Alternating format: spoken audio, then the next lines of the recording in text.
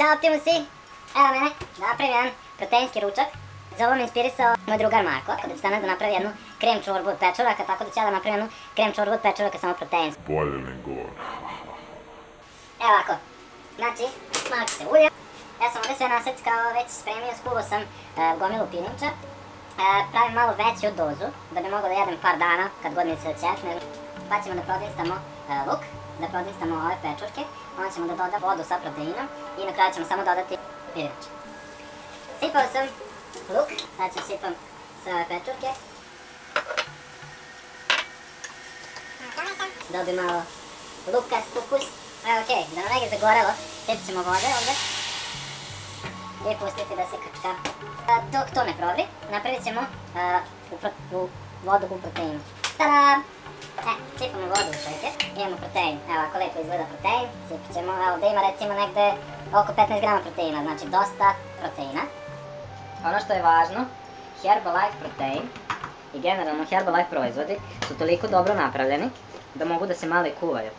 Znači, proteini inače se ne preporučuju da se kuvaju zato što nisu stabilni na visokim temperaturama i mogu da pocrne, da budu loši, da postanu čak možda i kancerogeni. Kod Herbalife proteina i kod Herbalife šejkova, pogotovo kod sportske linije, znači naši doktori su uzeli gomilu, gomilu nekakvih raznih proteina i proteinskih šejkova i pustili su ih na testove kroz koje prolaze svaki Herbalife proizvod i nijedan nije uspeo da prođe test. Su bili crni i odvratni, to ja ne bi nikad u životu stavio u svoje usta. Herbalife šejkovi, naravno, to im je normalna rutina i mogu da se ovaj, malo znači prokuvaju. Ovo ćemo dodati tek skroz na kraju. Ovdje dok se ovo ćemo dodati malo začina, da to dobije malo ukusa. Soli. Dodat ću na kraju sad ovaj pirinč. Tako, tako. Čaj. Ovo će biti za mišiće, ima da budu ovaki. Ovaki mišići da budu. Sad su još mali, još treba da rastu, tek su sad počeli da dobijaju proteina kako treba. Ali polako, lako je sigurno. Može se doda malo muškatni oračić. Ono što je super kod ove čorbe, jeste što može malo duže da stoji, može recimo dva dana da stoji, možete više obroka da napravite da, da jedete. Naravno treba dodati još neku salatu sa strane, to bi bilo super. Jako dobro, ako treba da ponesete možda negdje ovu čorbu na posao ili tako nešto, znači stavite u blender, sameljete je i možete da je nosite sutra za posao. Pa mislim da je vrijeme da dodamo magični protein, još malo da promućkam.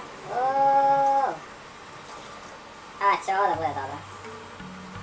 A će ovo da bude ko bombona, ko bom. Protein nema nikakav ukus, tako može bude i slan i sladak. Ne može da se pije sam za sebe, pošto je čist protein. Već treba da se jede ili uz neki obrok, ili najbolje u stvari da se Sipa u šejk. Malo samo da se to sve dopusti sokiće, da taj protein upije, malo te pečurke i šta već, da se to sjedini u jedno. I onda ga skidamo i možemo ga klopamo. Eri, sudo je! Jedan prijedlog, uvijek kupite i imajte kod sebe jednu ovakvu glavicu. Užasno jeftino, znači oko 40 dinara ovakva glava.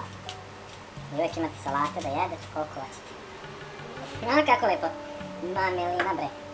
Kažu, oči mi jedno, a oči mi gladne. Tako i ovo kad vidiš, znaš da je zdravo. Ručak poslužen.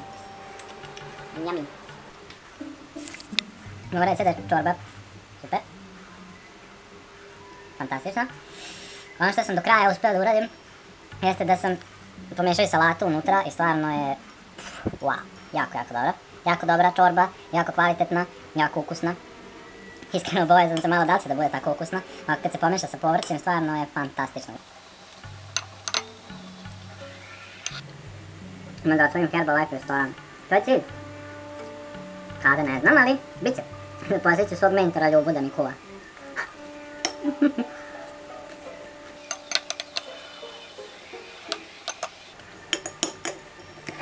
Ovo je bio najbolji slani ručak ikada. Najzdraviji, najbolji.